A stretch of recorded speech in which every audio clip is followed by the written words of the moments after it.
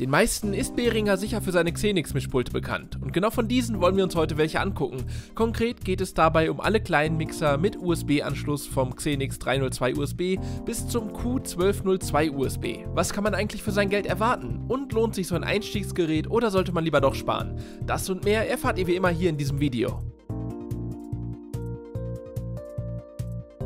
Bevor wir richtig einsteigen, schauen wir uns zunächst an, um was es hier eigentlich genau geht. Xenix-Mischpulte gibt es nämlich gefühlt wie Sand am Meer. Wie findet man also schnell und einfach heraus, welches für einen das Richtige ist?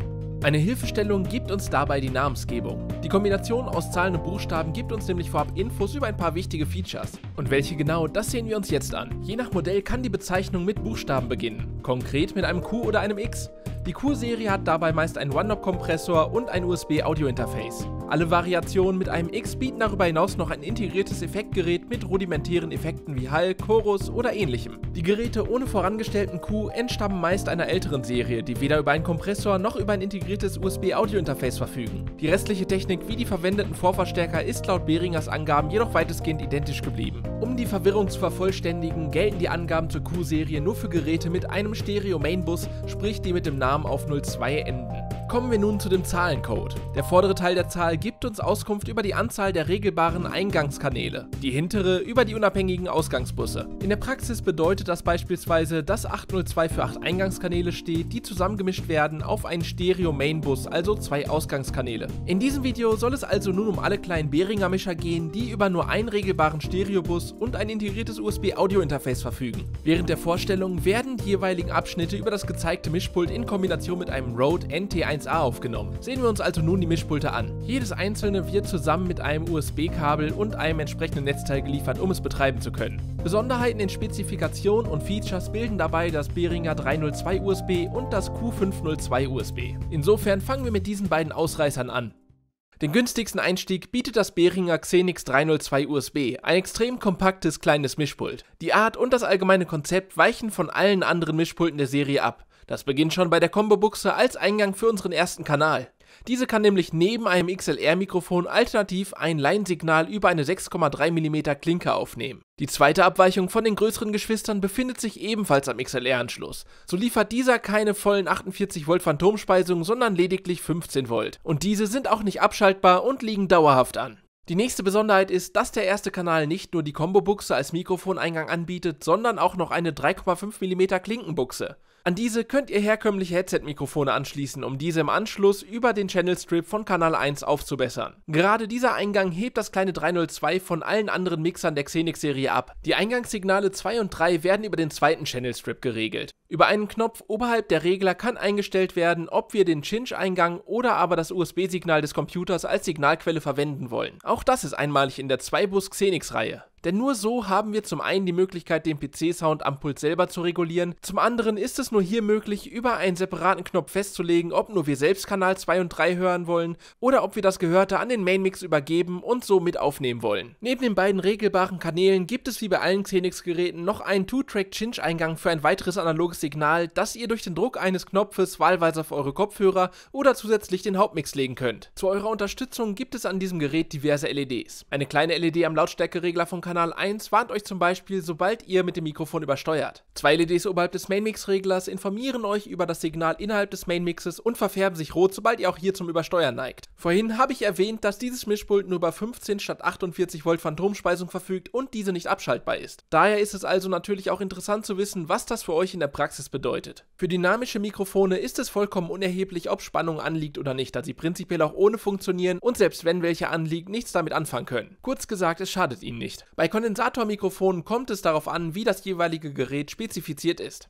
Die meisten Geräte, die ich bisher verwendet habe, halten sich an die Norm von 9 bis 52 Volt und funktionieren in diesem Spannungsbereich. Einige Mikrofone benötigen jedoch eine höhere Mindestspannung. Diese bleiben entsprechend bei den gebotenen 15 Volt stumm. Die Mikrofone von Rode oder T-Bone machen dabei allerdings keine Probleme, wie man gerade am NT1A hört. Klanglich wirkt sich der Unterschied bei den meisten Geräten nicht merklich aus. Allerdings spürt man den Unterschied gegebenenfalls in der Empfindlichkeit. Wird das Mikrofon mit weniger Spannung betrieben, kann dies dazu führen, dass der Output ebenfalls schwächer ausfällt und ihr den Gainregler entsprechend weiter aufdrehen müsst. Das wiederum verstärkt natürlich auch das Grundrauschen, gerade bei günstigen Geräten. Ein Vergleich zwischen dem Grundrauschen der einzelnen Geräte in Kombination mit dynamischen und Kondensatormikrofonen findet ihr am Ende des Videos. Zum Live-Aufhübschen eures Mikrofonsounds bietet das Xenix 302 für jeden Channel Strip einen einfachen Zweiband-Equalizer, mit dem ihr die Höhen und Tiefen eures Sounds beeinflussen könnt. Für eine sehr rudimentäre Aufbereitung, beispielsweise durch das Anheben der Höhen, genügt das. Der dritte Fader neben dem Equalizer ist für das Panning zuständig und lässt euch das Signal im Stereobild positionieren. Das sollte es damit erstmal zum 302 gewesen sein. Weiter geht es mit dem Xenix Q502 USB. Das Gerät ist dem 302 größentechnisch und optisch sehr ähnlich, unterscheidet sich aber deutlich vom Funktionsumfang. Auch wenn es der etwas größere Bruder ist, müssen alle, die in Richtung des flexiblen Streamings oder Aufnehmens gehen wollen, Abstriche machen.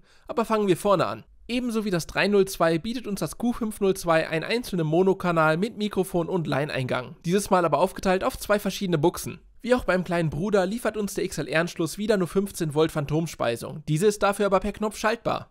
Dieses Mal gibt es den Zweiband-Equalizer nur beim ersten Kanal. Zudem ist unser erster Channel Strip wie auch die anderen mit einem Panning-Regler für die Positionierung des Audiosignals im Stereobild ausgestattet. Abgesehen davon gibt es auch wieder eine Clipping-LED, die uns warnt, falls das Mikrofonsignal übersteuert. Als kleines Extra gegenüber dem 302 bietet uns das 502 nun für unser Mikrofonsignal einen einfachen Kompressor an. Dieser kann über einen einzigen Knopf geregelt werden. Dabei verstärkt sich der Grad der Kompression durch Aufdrehen des Reglers im Uhrzeigersinn.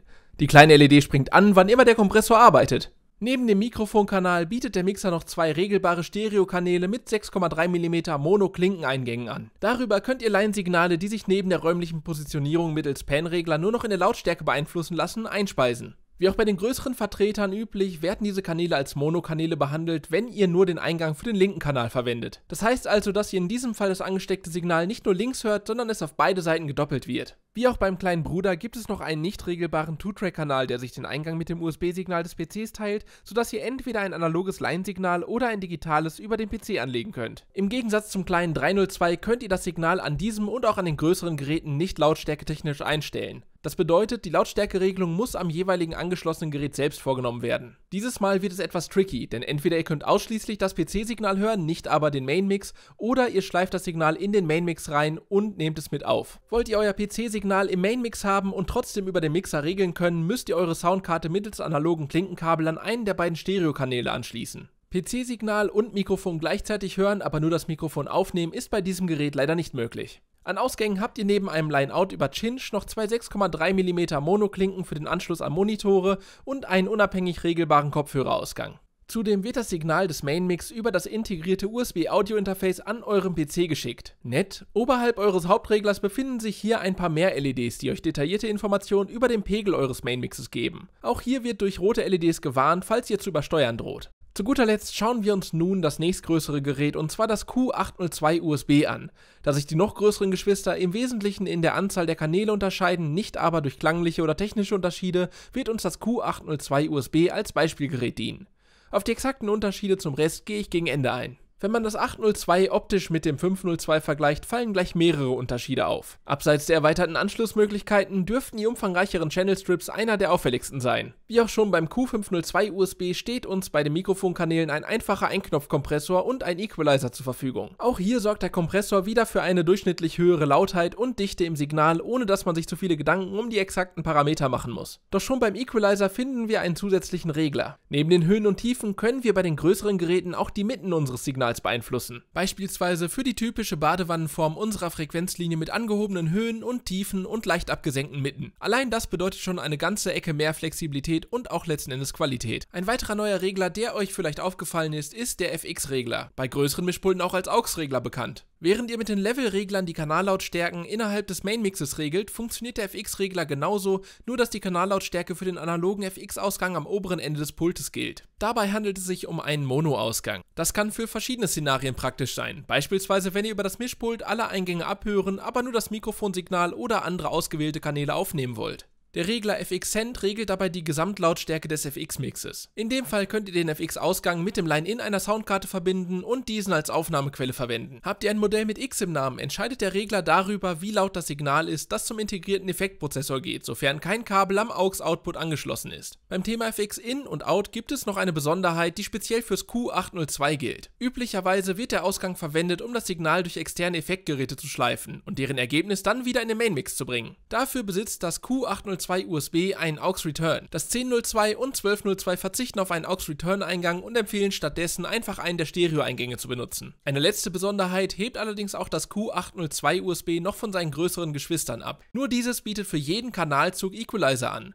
Beim 1002 und 1202 wurde bei den Stereokanälen auf die Equalizer verzichtet. Ich habe euch nun alle Geräte funktionstechnisch gezeigt, sodass ihr einen Eindruck davon habt, was ihr mit welchem Gerät anstellen könnt und eine Vorstellung davon bekommt, was für euer Projekt bzw. euer Setup notwendig wird. Abschließend möchte ich aber auch nochmal leistungstechnische Unterschiede austesten. Aus dem Grund gibt es jetzt jeweils Aufnahmen mit dynamischen und Kondensatormikrofonen, die identisch eingepegelt sind, um zu zeigen, wie die Geräte sich im Klang und Rauschverhalten unterscheiden. Informationen stehen jeweils im Video. Was ihr hier jetzt hört, ist das Rode NT1A angeschlossen an das Behringer Xenix 302 USB. Und wie ihr hören könnt, hält sich das Rauschen extrem in Grenzen. Hier hört ihr nun eine unbearbeitete Aufnahme mit dem Rode NT1A angeschlossen an das Behringer Xenix Q502 USB. Und wie man hört, so gut wie kein Rauschen. Und noch eine Aufnahme mit dem Rode NT1A, diesmal in Kombination mit dem Behringer Xenix Q802 USB und auch hier wieder so gut wie kein Rauschen zu hören. Hier hört ihr nun das Rode Procaster in Kombination mit dem Behringer Xenix 302 USB. Der Gain-Regler muss für so ein dynamisches Mikrofon bedeutend weiter aufgedreht werden, deshalb kann man eventuell auch etwas besser das Rauschen wahrnehmen. Auch hier gibt es nun wieder ein unbearbeitetes Rode Procaster in Kombination dieses Mal mit dem Behringer Xenix Q502 USB. Auch hier muss ich den Gain bedeutend weiter aufdrehen und trotzdem hält sich das Rauschen noch in Grenzen. Abschließend gibt es hier nochmal das Rode Procaster, dieses Mal am Behringer Xenix Q802 USB. Und auch hier wieder so gut wie kein Rauschen zu hören. Aber hören wir uns die Pulte nochmal mit Verstärkung an.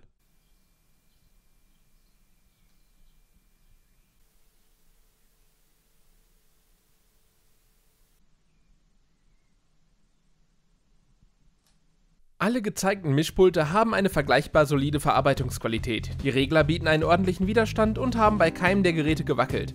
Über die Jahre habt ihr bei den Potis aber unter Umständen mit bekannten Alterungserscheinungen zu kämpfen. Das bedeutet in der Praxis, dass es während der Soundeinstellung zu Knacken oder ähnlichen Störgeräuschen kommen kann. Insofern Obacht bei alten gebrauchten Geräten. Das einzige, was mir sonst negativ aufgefallen wäre, ist, dass es keine gummierten Standfüße gibt. Entsprechend stehen die Geräte leider nicht wirklich sicher und bewegen sich bei jeder kleinen Berührung. Ich hoffe, ich konnte euch einen guten Eindruck von den einzelnen Geräten vermitteln und euch damit die Entscheidung für das für euch passende Gerät erleichtern. Meiner Meinung nach haben die Behringer Geräte teilweise einen schlechteren Ruf, als ihnen gerecht wäre. In Anbetracht des Preises liefern alle eine angemessene Leistung, sodass sie meiner Meinung nach immer noch einen ausgezeichneten Einstieg für all jene darstellen, die darauf angewiesen sind, live mit dem Sound zu arbeiten. Der einzige Umstand, den ihr im Hinterkopf behalten solltet, ist, dass ihr euch immer selbst hört, sofern ihr den Mainmix über das Mischpult abhört. Denn selektives Ausschalten und trotzdem Aufnehmen ist hier nicht ohne weiteres möglich. Dafür gibt es allerdings höherwertige Geräte, die auf genau solche Szenarien Szenarien spezialisiert sind. Wer also entsprechend noch mehr Wert auf guten Klang, gute Verarbeitung und vor allem extreme Flexibilität in der Klangeinstellung und im Soundrouting legt,